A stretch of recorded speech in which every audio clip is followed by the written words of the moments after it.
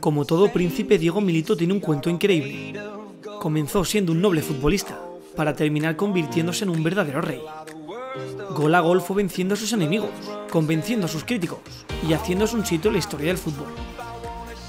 Pasión, potencia y gol. Diego era un auténtico matador argentino. Un artillero ansioso, con garra y muy competitivo.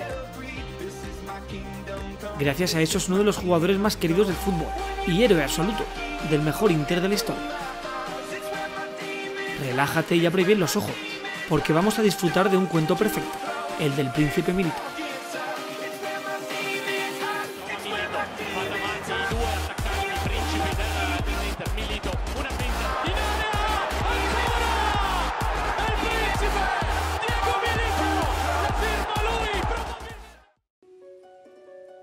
Diego Alberto Milito nació en junio del 79, en un barrio de Buenos Aires, Argentina.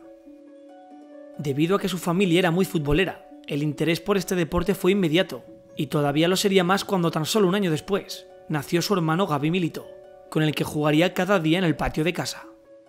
Debido a su gran competitividad, a la edad de 9 años, entró en la academia de Racing, pero su hermano Gaby entró en la de Independiente, ya que ambos eran hinchas de esos respectivos equipos. Tras formarse como delantero en las inferiores, en diciembre del 99 y ya con 20 años, debutaría con el primer equipo de Racing. El joven Diego, y a diferencia de su hermano Gaby, fue entrando poco a poco en el equipo.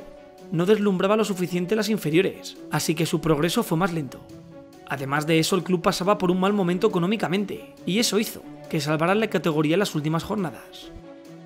Tras esos primeros malos momentos, el club se repondría y conquistaría el torneo Apertura del 2001 en la final ante River Plate.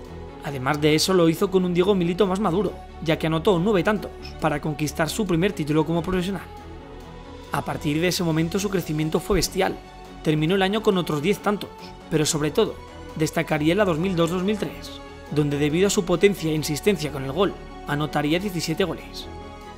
Tanta era la pasión por el fútbol de Diego, que esa campaña nos dejó un momento inolvidable en el clásico de Avellaneda, cuando Diego pidió la expulsión para su hermano por un agarrón, gesto que enfadó mucho a Gaby y provocó una discusión.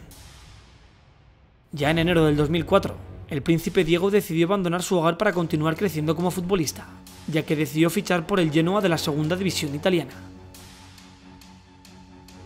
En aquel entonces Milito llegó a Genoa sin hacer mucho ruido, un club que en aquel entonces luchaba por no descender a la Serie C, pero que la presencia de Diego lo cambió absolutamente todo.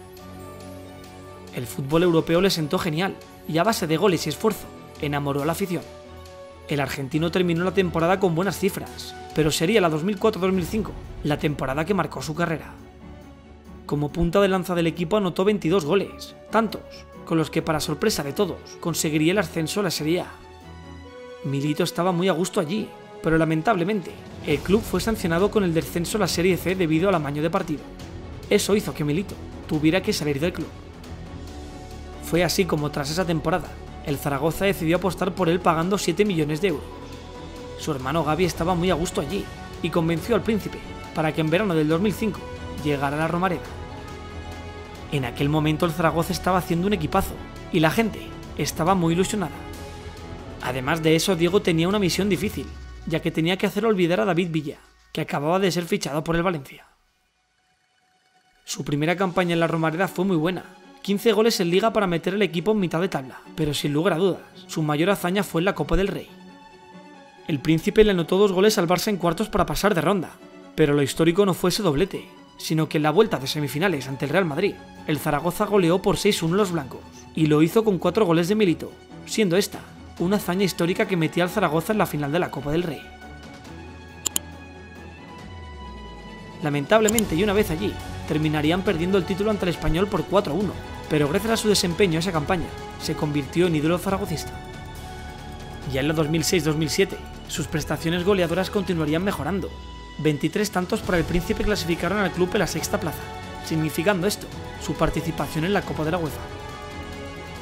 Gracias a esos datos, Milito cumpliría un sueño, disputar una competición oficial con su país, la Copa América.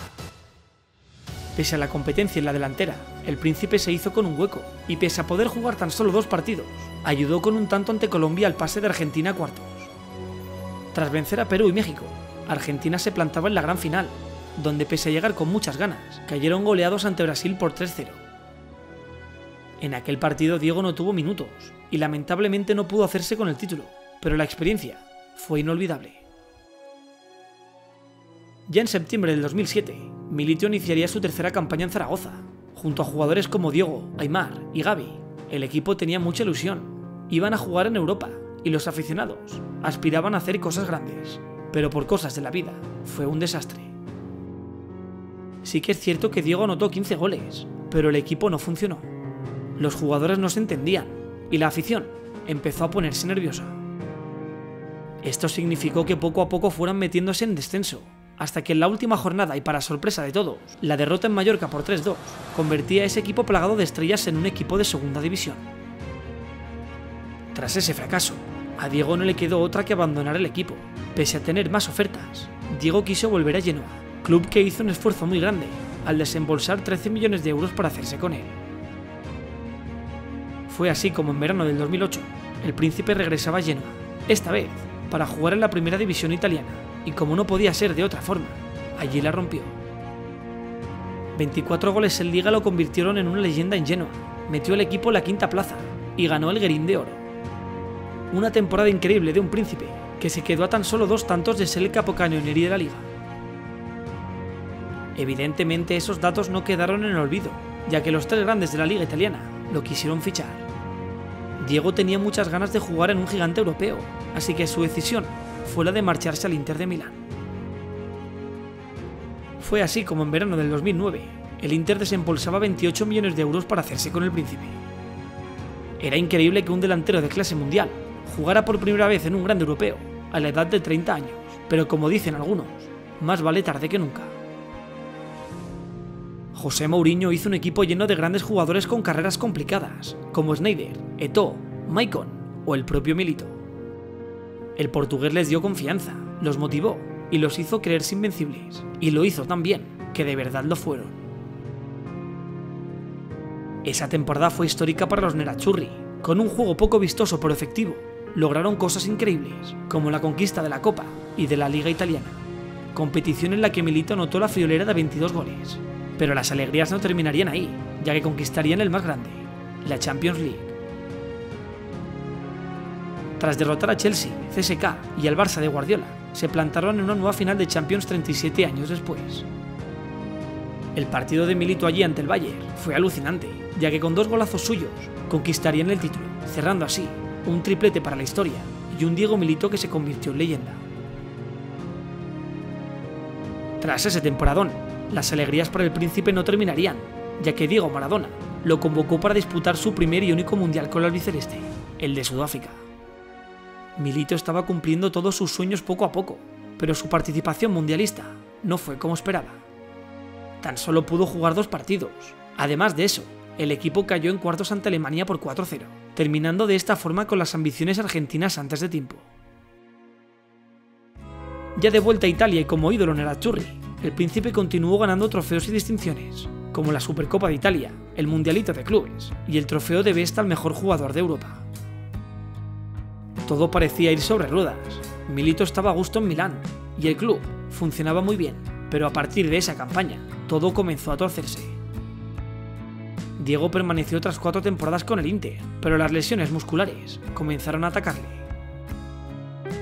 Sumado a eso, la marcha de Mourinho y algunos jugadores afectaron mucho el rendimiento del equipo, que tan solo pudo conquistar un título durante esos cuatro años, la Copa de Italia.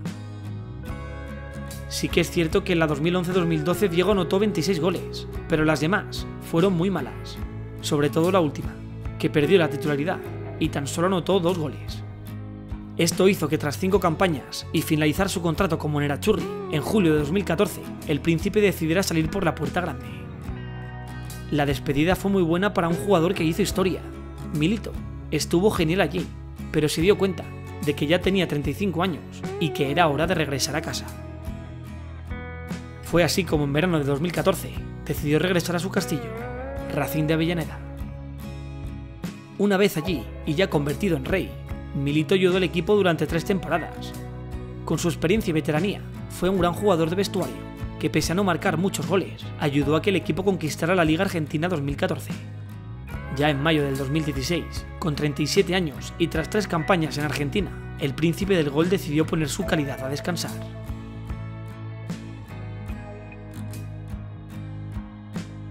Esta ha sido la historia de Diego Milito, un futbolista humilde, querido por todos, un jugador que la recompensa a su trabajo le llegó tarde, pero que sin duda alguna le llegó. Un jugador que gol a gol dejó de ser príncipe para convertirse en rey.